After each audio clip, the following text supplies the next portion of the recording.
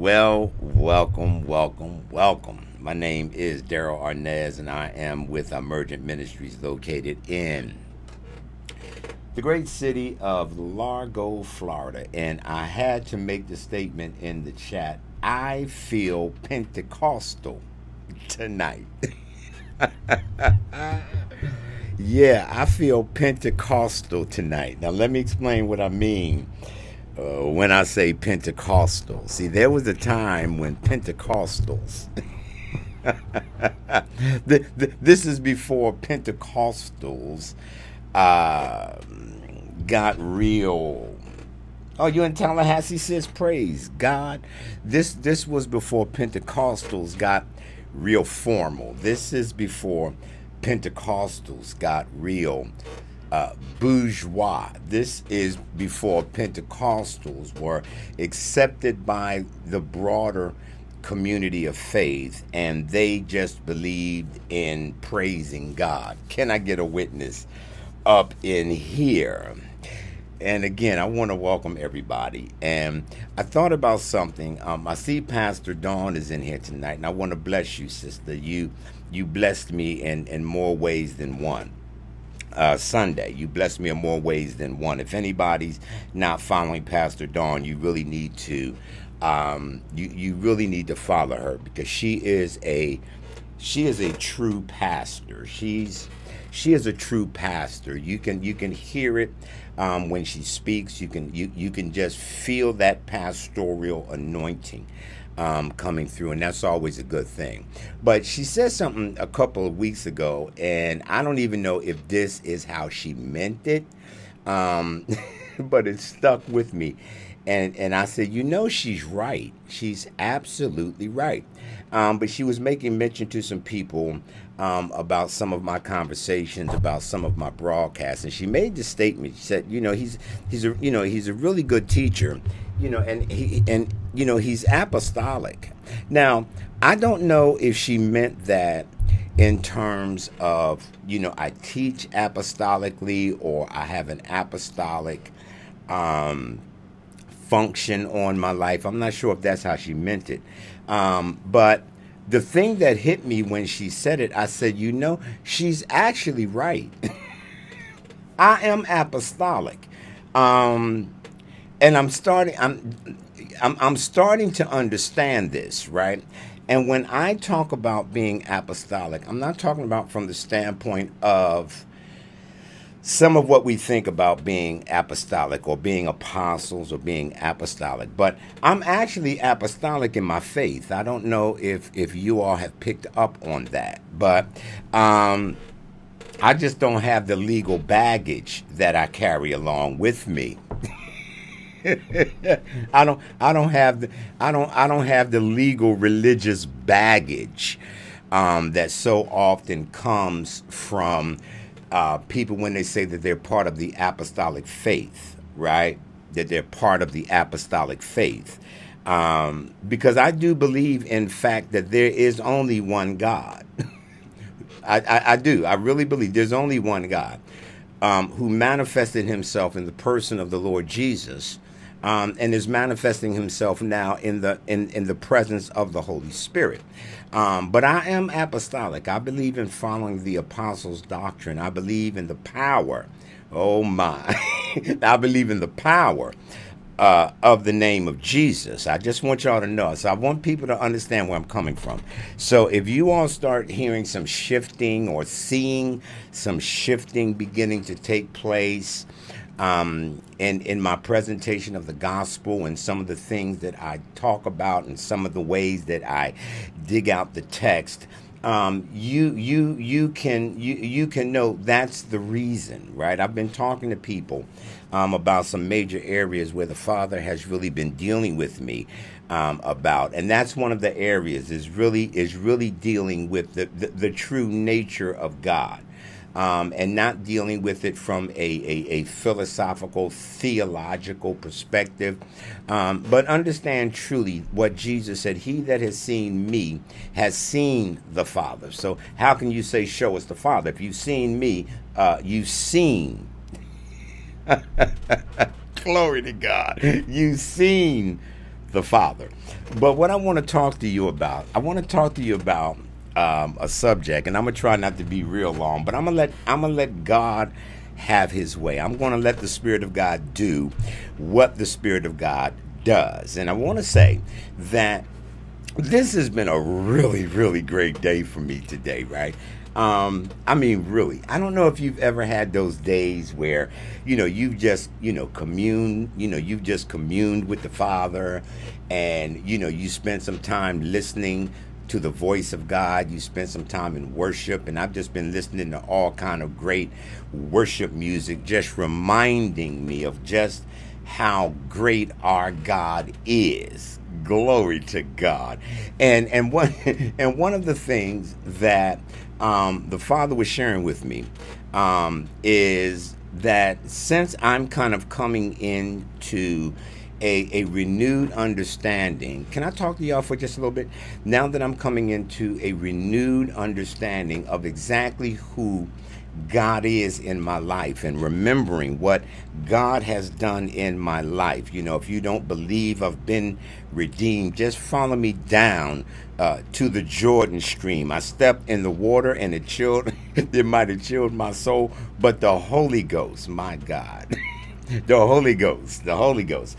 Um, but but anyway, um, one of the things that that I really prayed um, today because I knew that I was coming on. I said, Father, you know, really, what I want, what I want for my brothers and sisters um, to experience in in in this conversation. I don't want them to just get more knowledge, but Father, I want them to I want them to have a renewed sense of your presence in them and among them. Father, I want the spirit of the Lord Jesus to rest upon them. I want them to walk away with an assurance that Jesus is alive, with, with an assurance that you you you have them in the palm of your hand. Holy Spirit, I want you to to minister to my brothers and sisters. I want you to use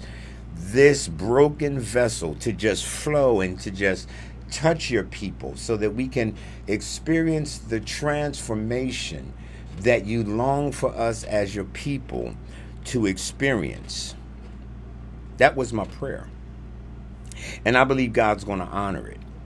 Um, one other thing that I that I thought was real unique, y'all y'all might appreciate this. I gotta I gotta get this out so that I can get into the word. But if if any of you heard the, the conversation I did a couple of, of days ago, or may have been last week, where I talked about for the sake of the body, part one. Um, when I was talking about that, for the sake of the body, and I was talking about Apollos. You, you remember Apollos? And I talked about how Apollos was mighty in scripture um, and he refuted the Jews and that publicly, showing from the scriptures that Jesus was, in fact, the Messiah.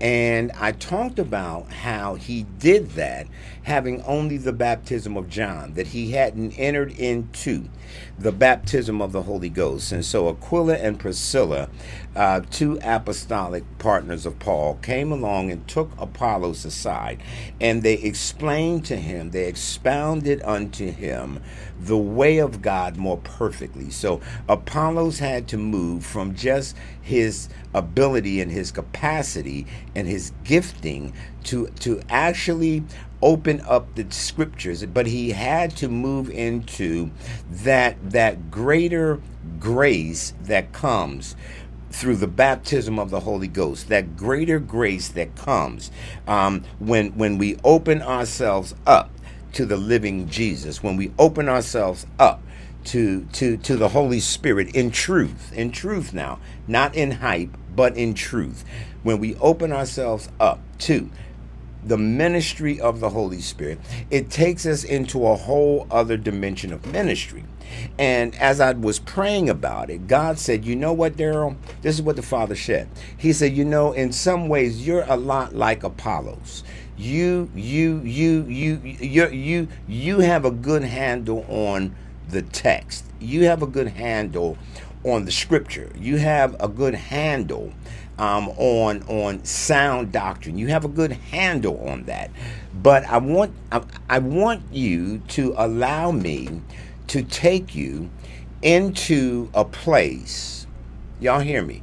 I, I want you I want you to be able, I want you to be willing to allow me to take you into a place that you gain, you gain a greater understanding of the way of the Lord. Y'all stay with me. I want to take you into a place where you get a greater understanding of the way of the Lord. Now, this doesn't diminish at all um, your your love for sound doctrine. This doesn't diminish your love for the apostles' doctrine and fellowship. It doesn't diminish any of that. This just opens up a different area of ministry that's needed in the body of Christ right now because I'm doing a great work of restoration. Speak, Holy Spirit. I'm doing a great work of restoration, and there are some pieces to the puzzle there's some pieces to the puzzle that I'm trying to restore back into the life of the church. And so when you talk about this thing of balance between the word and the spirit, you have to be the manifestation, you have to be the demonstration of it, of what it really looks like. Because to a large degree, we've seen extremes. We've seen, on the one hand, we've seen people who are open to the move of the Spirit. They're open to the Spirit, but they, they, they really don't have a strong doctrinal foundation. They, they really don't have a foundation in the Word. And then on the other hand, we have people who have a strong foundation in the Word, but they're void of the Spirit. And part of what the Father is, is attempting to do in this time of restoration um, is not only did he want to restore to us um, things such as justification by faith. That's not the only thing that the Father was interested in. He just didn't want us to understand um, as as he brought back um, the, the ministry of the Holy Spirit at the turn of the 19th century or the 20th century. And, and so, you know, we open ourselves up to the move of the Spirit of God. And we understood that, yes, God moves. God still fills people with the power of the Holy Ghost. And they still speak in tongues. And, and, and so that became the gateway to the understanding of all of the other manifestations of the Spirit. But that's not all that the Father was doing. That's not all that the Father was doing.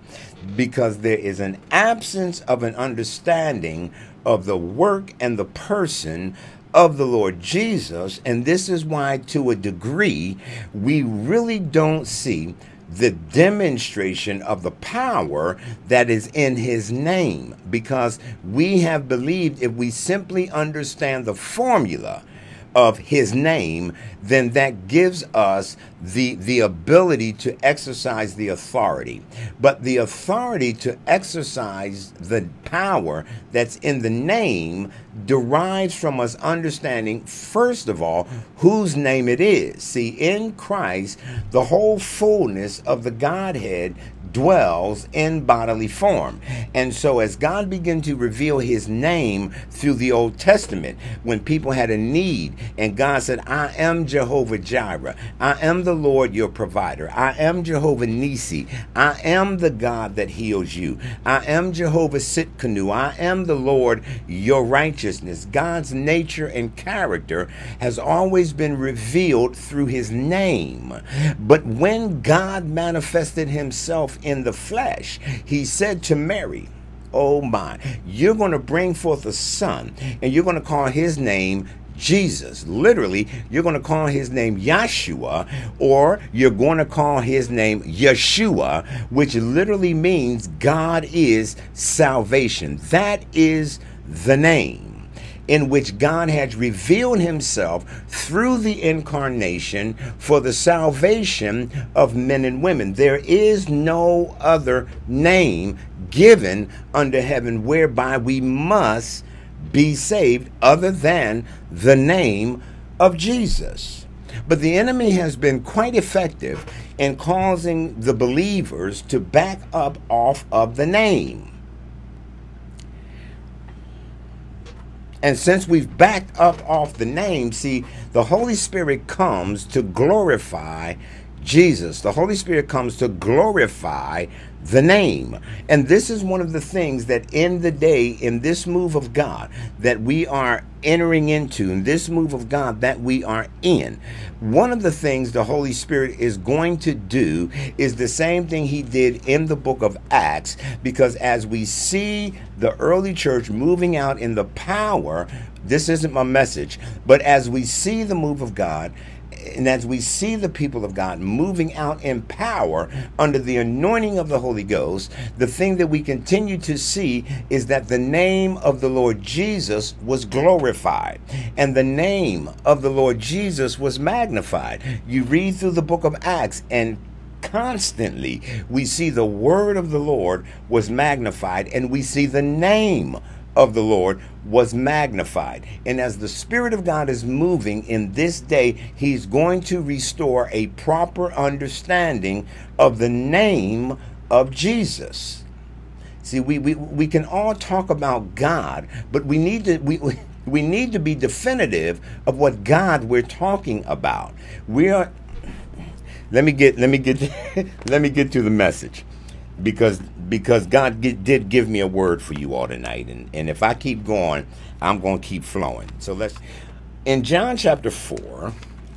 I've been waiting to share this message, but in John chapter four, we we have this really interesting story. So I want to read I want to read a couple of verses, and, and then I want to travel back in time a little bit. But in John chapter 4, beginning at verse 1, it says, When therefore the Pharisees knew that Jesus was making and baptizing more disciples than John, though Jesus himself didn't baptize but his disciples. He he left Judea and departed into Galilee. So this is during a time when the the ministry of Jesus is really beginning to pick up some steam. Uh, the notoriety of that had been raised as a result of John the Baptist's ministry was beginning to subside. John had been, of course, put in prison, and John began to point his disciples to Jesus because Jesus was the one who was to come. John confessed and said, I'm just a voice. I'm, that's all I am. I'm, I'm, I'm just a voice. And I think for those of us in ministry, we need to understand tonight. Oh, thank you, Holy Spirit, that we are just a voice. That's all we are. We're, we're just a voice crying out in the wilderness to prepare the way of the Lord. None of us are those great somebodies. So, you know, we can get that out of our mind. You know, we're just a voice crying out in the wilderness, pointing people to the one who can baptize them in the Holy Ghost and, and with power. Mm-hmm. So, in verse 4, it's an interesting statement. He says, He must needs go through Samaria. So, Jesus is leaving from Judea.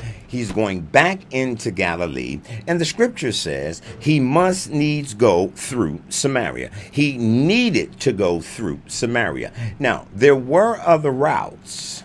In fact, for the Jewish people that were traveling from Judea to Galilee, they would take the extra time and effort to go around Samaria because, well, of course, they didn't want to contaminate themselves. Hey, Minister Child, they didn't want to contaminate themselves with these Samaritans. Are we going to unpack the Samaritans for you tonight?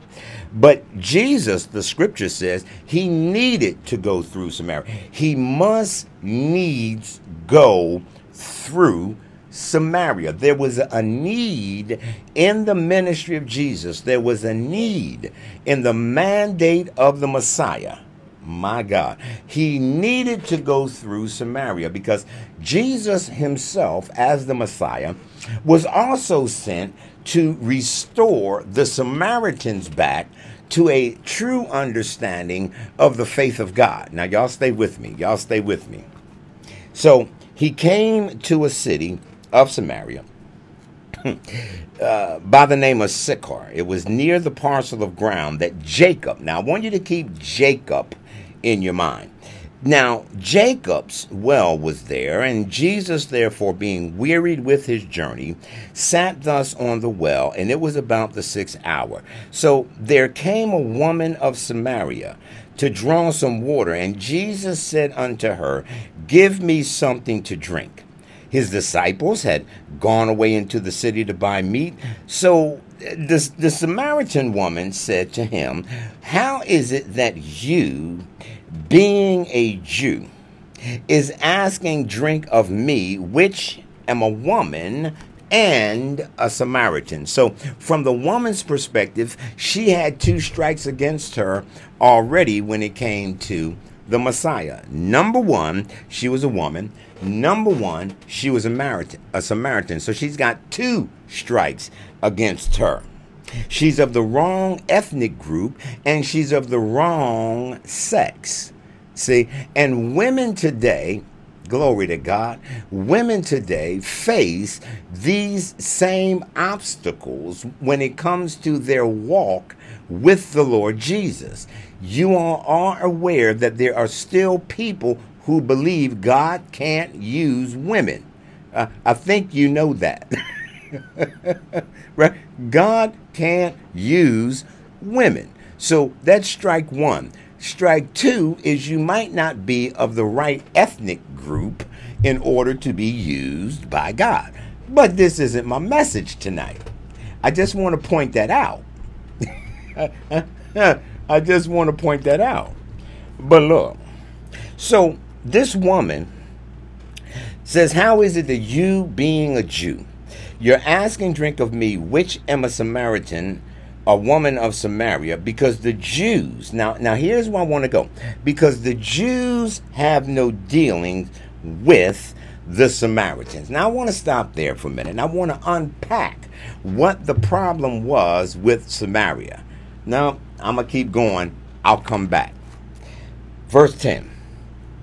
So Jesus answered and said unto her, If you knew the gift of God. Now, this is what I want you to hone in on because this is what we're talking about tonight. We're talking about the gift of God. Can you say gift of God? If you knew the gift of God. Now, when we get finished dealing with this, with this Samaritan woman, we're going to look at this gift of God a little different. See, because sometimes, because we are divorced, we're separated from a couple thousand years of what's actually taking place in the book. We're a couple thousand years removed from how they understood the story. And so we've kind of made up our own story about what the story is saying. Uh, y'all with me? So we need to do a little bit of time travel here for a minute. Help us, Holy Spirit.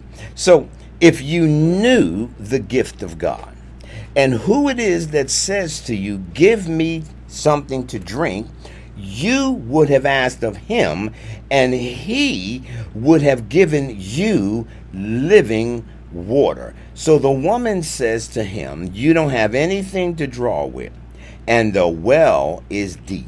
So, from where are you going to get that living water? Are you greater than our father Jacob, which gave us the well and drank thereof himself and his children and his cattle? It is verse 12 which reveals to us what the real issue was with the Jews and the Samaritans. So let's take a little time travel here.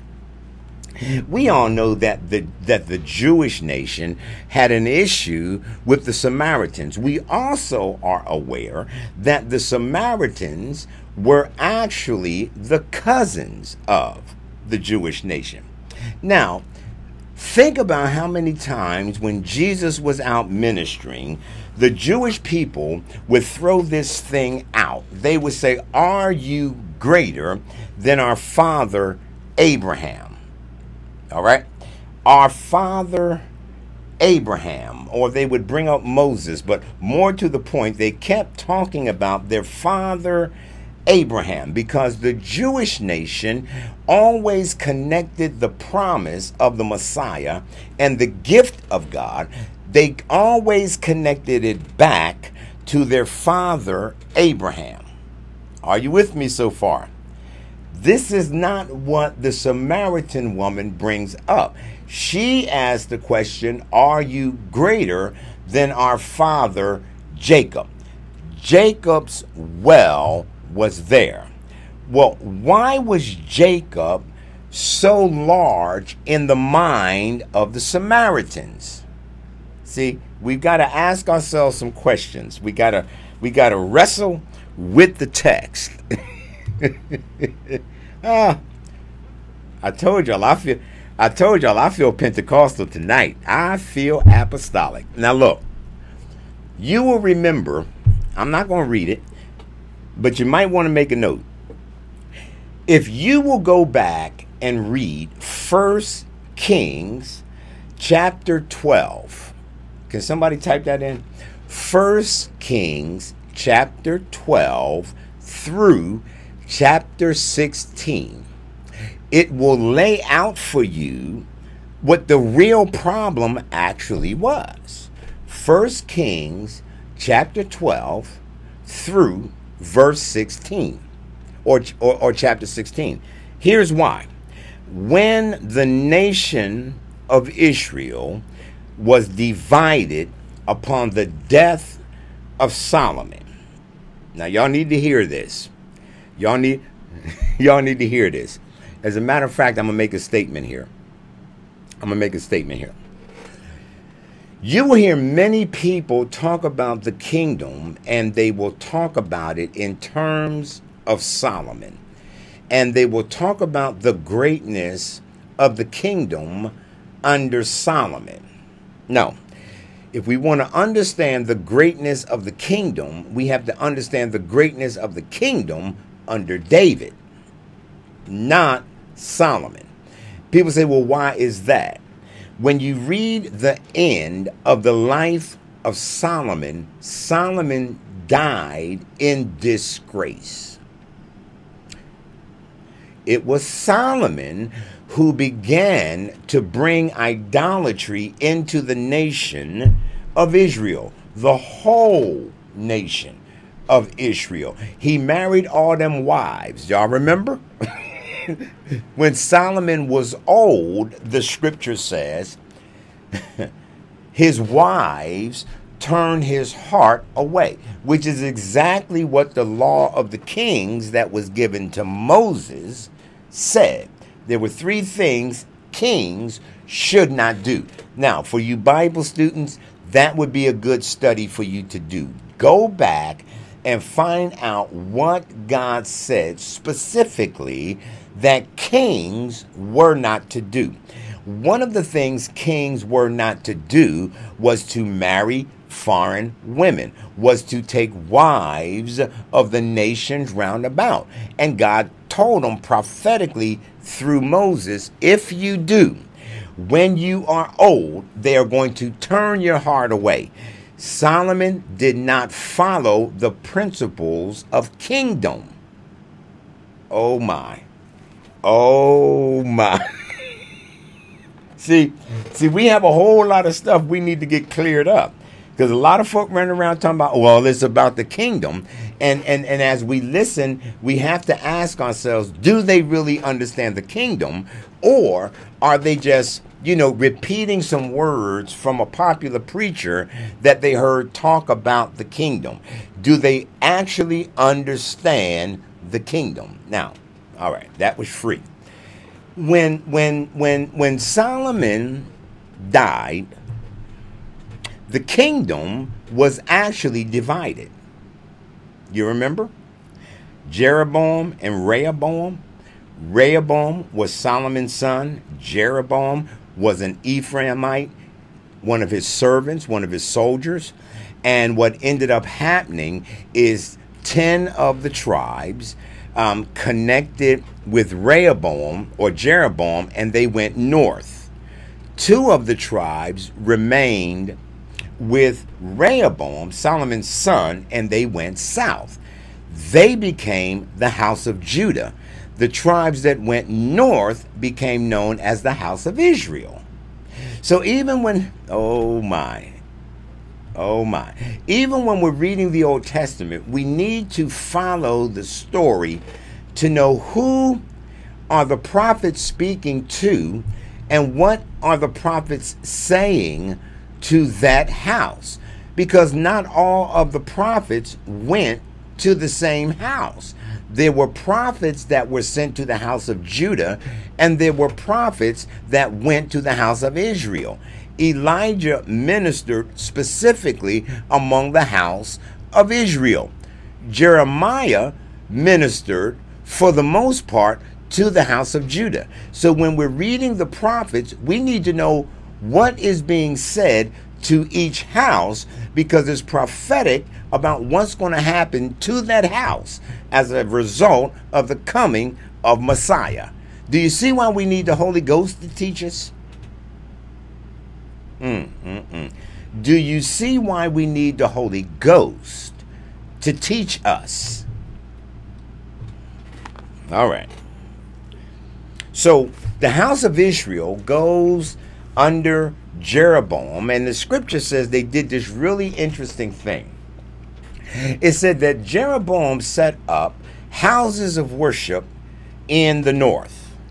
And he built all of these temples, all of these houses of worship in the north. I talk about this a lot. And then he took and he made priests out of anybody that wanted to be a priest who were not of the house of the Levi of the Levites. They were not Levites. He took of the basis of the people, anybody that wanted to be a priest, pretty much under this order that Jeroboam set up, could be a priest. Uh huh. It's kind of like today. Anybody that wants to go into ministry can pretty much just go into ministry. You can order a certificate online, call yourself Reverend, go open up a little jackleg shotgun church, you know, put on some robes and all of that stuff like that, sitting around looking like a ghetto pope. I'm sorry. I told myself I was gonna be nice. But y'all know what I'm talking about. You folks sitting around looking looking like ghetto popes, right? With all, with all of this stuff on, big heavy cross round their neck. right? Little get little ghetto pope, right?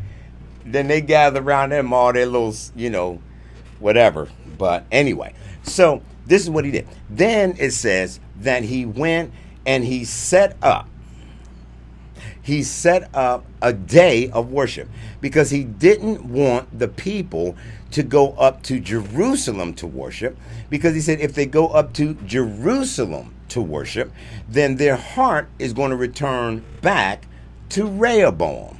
Are y'all with me now? So he set up a different form of worship for Israel in the north. So what ends up happening is over time, right? Paganism is blended with what little of the covenant they still have. This is what gave rise, my goodness, this is what gave rise to Ahab. Are you listening? How's it going, Brooklyn? This is what gave rise to Ahab and Jezebel was the false worship that had been set up in Samaria in the north. Are, are you with me? Samaria became the capital of the house of Israel in the north, Jerusalem was the capital of the house of Judah in the south. Now, some people saying, well, man, is just too much information. But we need to understand the context so we can understand what's going on with the woman at the well. This is why the story's in the book. This, this is why that's there. This is why Jesus must needs go through Samaria because he had a mission to the Samaritans to restore. Now, watch this word true worship because their worship had become corrupted.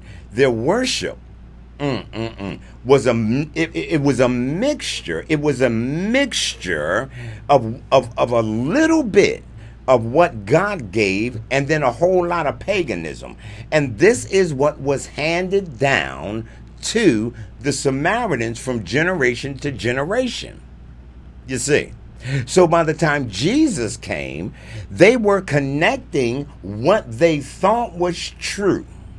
Watch now, to Jacob, not Isaac, to Jacob, and it's around Jacob's well. So they connected their covenant promises to Jacob's well. They couldn't connect back to Abraham. Why? Because they had already diverted from what God gave the whole house of Israel as a proper form of worship. Are you listening? It is a lot like today because a lot of what we have received, Father, give me the grace. Father, give me the grace to say this.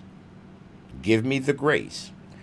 A lot of what we have received as the faith is a mixture. It's a mixture. It's a mixture between some of what Jesus left it's a mixture of what some of what the apostles taught, but there's a whole lot of paganism that has also been brought in.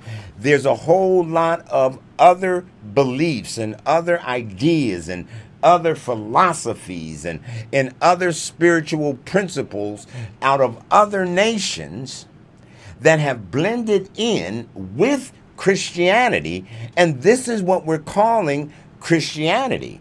And this is why, to a very large, de- you know, to a degree, this is why we hear so much about quote unquote these spiritual principles that God set in the universe.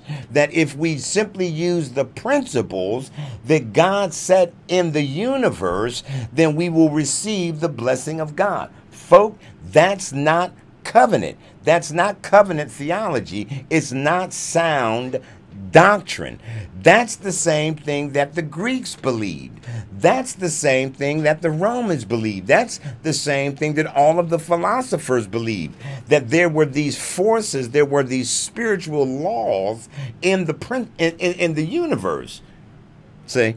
Is all of these spiritual laws in the universe that we as believers need to tap into. And then when we tap into it, then we will experience the blessing of God. Listen to what I'm going to say God's not a principle, God is a person. oh my. God is a person. Are you listening to me? He's not a principle, he is a person. Okay? Faith comes, watch this, here you go. Faith comes by hearing, hearing comes by the word of God. All right?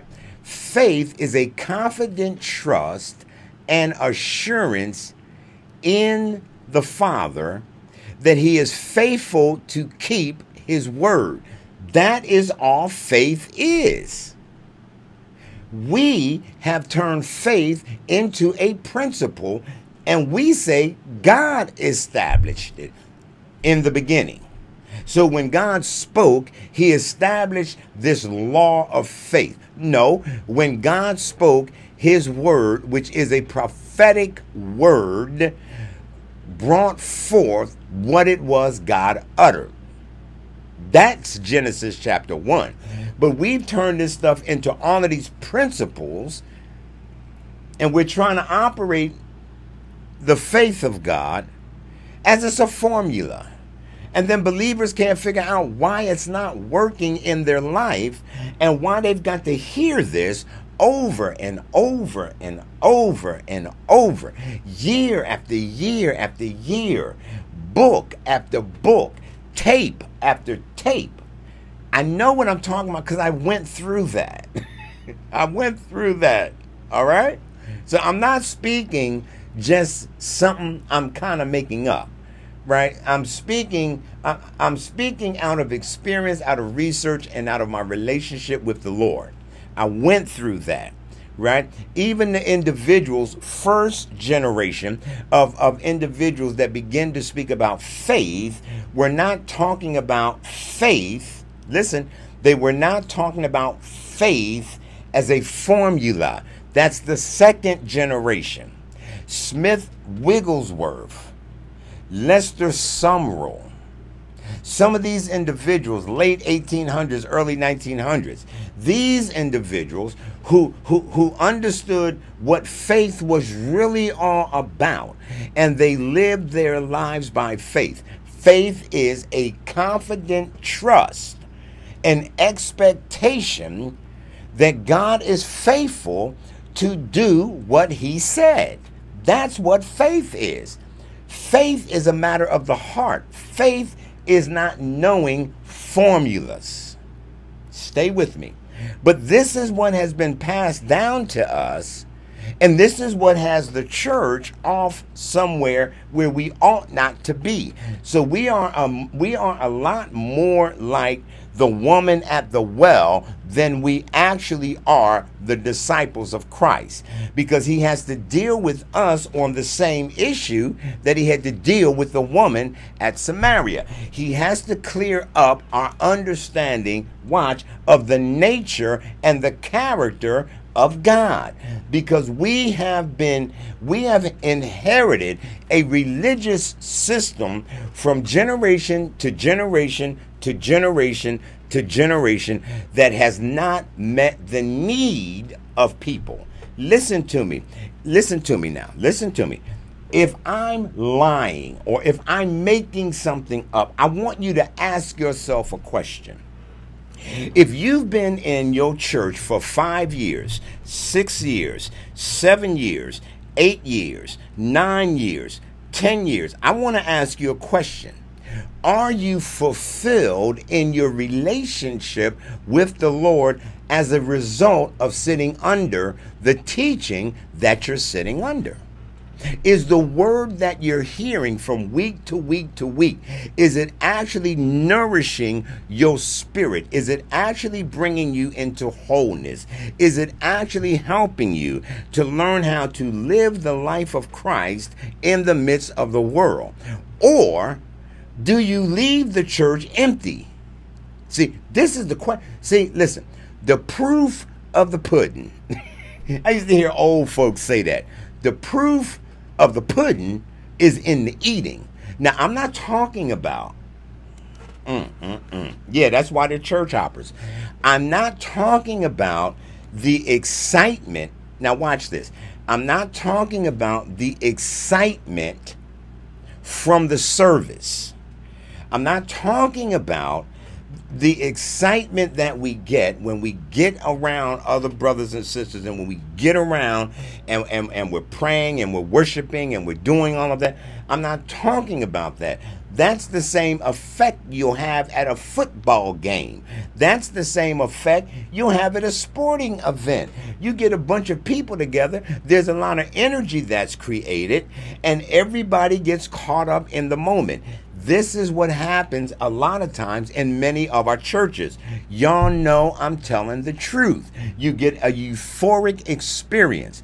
If I'm, t- if look, look, if what I'm saying doesn't apply to you, you know, there's an X on the top of this conversation. You can click on out and just say that brother don't know what he's talking about. But if you are going, mm, mm, mm, if you are going to a church, if you are having an experience and you're going from church to church to church to church, trying to fill that void, trying to to find that place where the presence of the Lord is real, where the Spirit of God is really moving, and that word that you've been sitting under, that word that you're sitting under, there is an anointing upon that word. There is an anointing that just doesn't give you a fix for the moment. There is an anointing that's working transformation in your life, and that word day by day by day is becoming more real. You're becoming hungrier and hungrier for more of the Word of God. You're becoming more hungry. You're becoming hungrier. You know, you, you, you have a hunger for the Word that just cannot be satisfied. There is a hunger for the Spirit of God that just cannot be satisfied. If that's not how you're leaving your church and you're just getting a fix, this is what I'm talking about. This is what I'm talking about. This is where the woman was. Now watch this. Let's keep going. So that's where that's where you know that's that's that's what happened with the Samaritans. So so so when Jesus shows up, he's got this whole system of the Samaritans who are still looking. Let me let me keep reading. Let me keep reading. All right. Let me keep reading because I'm getting excited. Where was I? Where'd I leave off? Where'd I leave off? All right, here we go. So so so she wants to know are you greater than our father Jacob? So she connects her faith back to Jacob. So understand that the Samaritans did have a faith. They were not what we would say atheists. They did have a belief, listen, in the God of Abraham, Isaac, and Jacob. They did have a partial understanding of Messiah. They had a partial understanding, but much of what they embraced had been mixed with a whole lot of other stuff. A whole let's call it world religions. Let's call it that. Let's call let's just call it world religions. All right. And so it says, verse 13. She want to know where you gonna get this water. So Jesus answered and said unto her, Whoever drinks of this water, they're going to thirst again. Now watch verse 14. Whoever drinks of the water that I shall give him shall never thirst, but the water that I shall give him shall be in him a well of water springing up into everlasting life. Do you do you hear do you hear the master? He said, "Listen, whoever drinks of that water, that natural water, you're going to get thirsty again. But the water that I'm going to give you, the water that I'm offering, if you drink this water, you'll never thirst because this water will be in you a well of water that springs up into everlasting life. So Jesus is offering a source of refreshing that never runs dry. Oh, oh, Holy Ghost. Jesus is offering a source of refreshing that never runs dry. He that believes, if you drink of this water, now we're going to go somewhere in a minute. If you drink of this water, watch, you'll never thirst again because this water will become in you a well of water that springs up into everlasting life.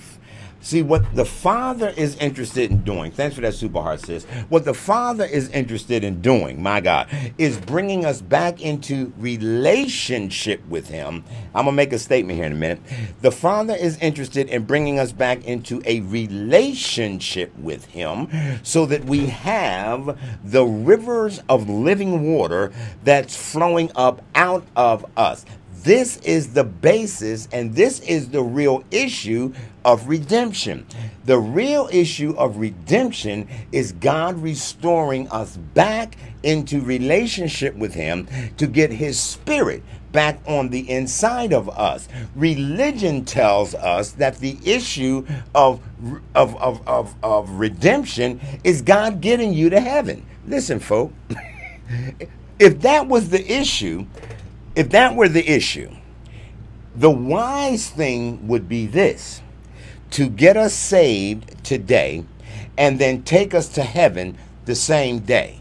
That creates a whole lot frustration on me, and I'm sure it would create a whole lot more frustration on the Father as much as I mess up.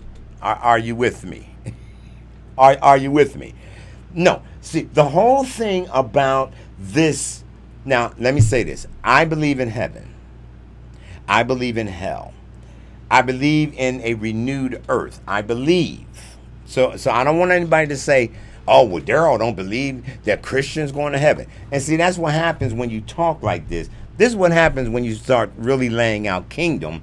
Religious minds which have been indoctrinated with religious teaching shut down soon as they hear something that they've been taught then they shut down and they really don't hear everything else that you're saying that's why folk walk in darkness but another but that's another message That's another message. See, Jesus said the meek will inherit the earth. But look, I believe in heaven.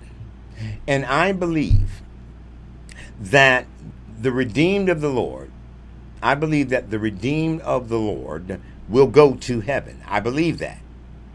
I just don't believe, because I haven't found it in the scripture, where heaven is our eternal home. See, if you read the very last book in the the very last book in the scripture, book of Revelation, John saw a new heaven and a new earth coming down out of heaven. There is a renewed earth. See, God's original plan and purpose from Genesis will be fulfilled. He said, Let us make man and let them have dominion over the earth. So when it's all said and done, there is going to be a new earth in which will dwell righteousness. Are you with me? And so even the veil between the heavens and the earth won't be anymore. See, because the kingdom of God will encompass everything. Are you with me? But what happened is back in the dark ages. Oh, back in the dark ages, back in the dark ages, a teaching was developed about the saints going to heaven in order to keep the people or in order to in order to encourage the people to give all their money to the church so the church could build all them cathedrals and created this pie in the sky type Christianity. And said, well, listen, it's not about your dwelling here. It's not about you having nice stuff here. It's not about this here. It's all about you going to heaven. And see, see, see, so don't get caught up in the world. Don't get caught up in the system. Don't get caught up in all of this stuff here in the earth because you're going to go to heaven because it's in heaven where you're going to get your eternal reward. And the church preached that the whole time they're building cathedrals, the whole time their popes, their bishops, their cardinals, their priests are living in the lap of luxury. They've got the people giving them money, supporting their lifestyle so they could build more buildings. Uh huh. Ain't nobody mad but the devil. Ain't nobody mad but the devil. Are you, are, are you with me? Now remember, now remember, I do believe that there is a heaven. And I do believe there's a hell. I'm not saying any of that. What I'm showing is how a lot of teachings and a lot of doctrines were incorporated into the faith and they've never been dealt with up until this time. They haven't been dealt with. So let me keep going. So whosoever would drink of this water. Now, watch this. Here's where it gets interesting.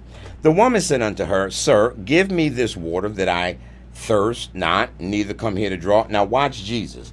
Now, watch the way Jesus shifts this conversation. Let's look at real prophetic ministry for a minute. Can I do that? All right. Verse 16 Jesus said unto her, Go call your husband. Now, let me stop here with husbands for a minute. You think about a husband. What does a husband do? A husband pro- provides covering, a husband provides protection, a husband provides nourishment. At least that's what they're supposed to do. So Jesus says, Go call your husband. And so the woman answered and said, I don't have one. Jesus said, Well, you got that right. Let's look at the prophetic for a minute.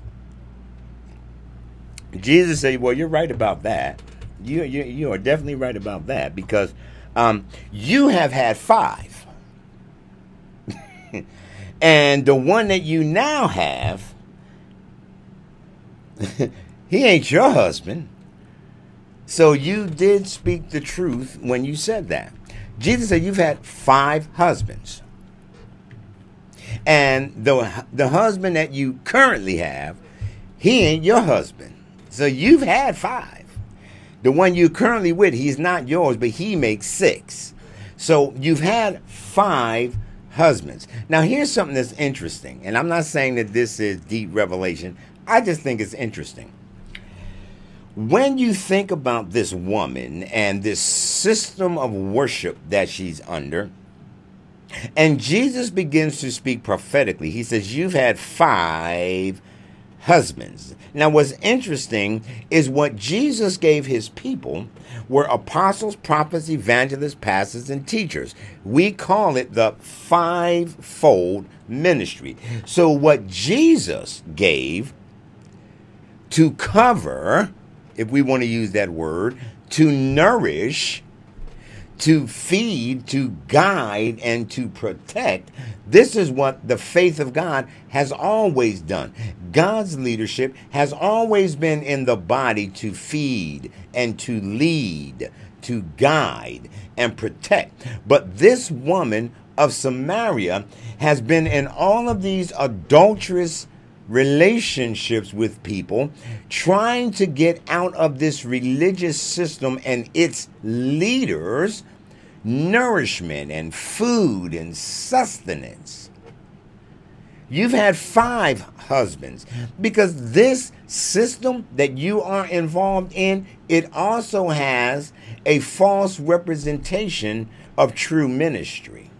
See, this is what we need to understand that this false system, just like back with Ahab and Jezebel, those false systems have a false representation of what true ministry does.